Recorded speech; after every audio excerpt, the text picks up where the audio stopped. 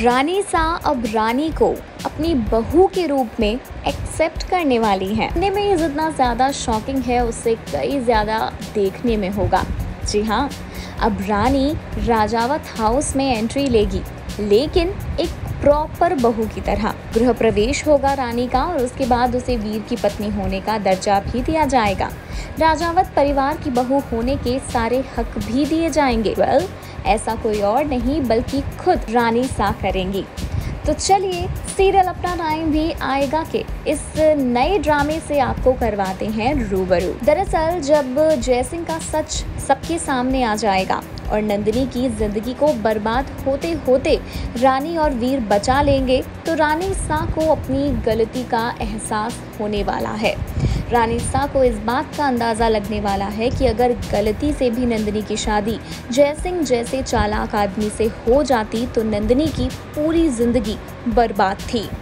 अब इसी एहसास ने रानी सा के दिल को कठोर से थोड़ा मुलायम बना दिया है और यहाँ पर उन्होंने रानी को एक तोहफ़ा देने के रूप में उसे अपनी घर की बहू स्वीकार कर लिया है।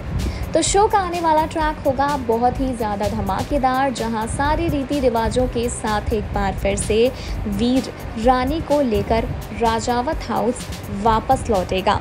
जहाँ रानी का खूब धूमधाम से गृह प्रवेश करवाया जाएगा। वहीं दूसरी ओर नंदिनी को भी अपनी गलती का एहसास हो चुका है और इसके लिए नंदिनी माफ़ी मांगती हुई नज़र आएगी खुद रानी से। जी हाँ हाथ जोड़कर रानी के सामने खड़ी होगी नंदिनी और उसे माफ़ी भी मांगेगी और धन्यवाद भी कहेगी। थैंक यू इस बात के लिए कि जयसिंह से नंदिनी की ज़िंदगी को रानी और वीर ने बचा लिया। तो अब रिश्ते धीरे धीरे सुधर रहे हैं।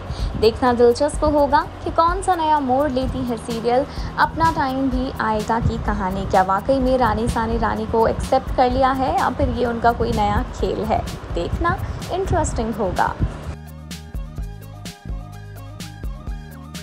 For all the latest updates of serial, celebrity news and views, please subscribe Serial Khabri and hit the bell icon.